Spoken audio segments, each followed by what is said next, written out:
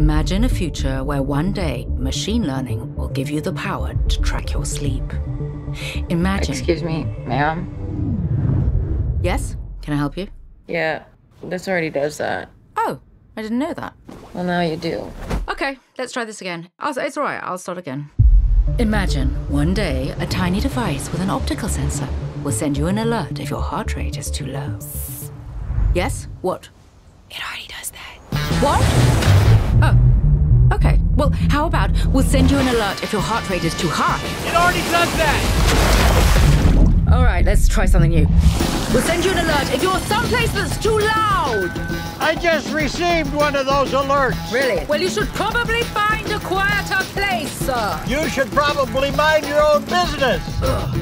Okay, imagine one day in the future. Hold on. No, no, no, let me finish. One second. You'll be able to take an ECG. It already does that. It already does that. I heard that. Good. What about continuously track your elevation? Does it do that? Does that. Right, got it. Does that. Thank you. Does that. Yep, heard it the first time. Encourages you to stay fit. Does that. Okay, I get it. You're fit. Uh, I don't know. Will it automatically call 911 if a bear chases you off a cliff and you take a hard fall? Huh? Yeah, already does that. Seriously? Okay, okay. I got it. Let's go from the top.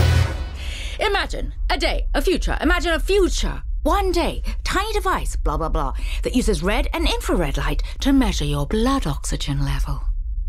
Yes? What? No, no, no, no, no, no, no, no. Don't you dare say it. I'm sorry, I can't hear you! Very cute. Well, was fun.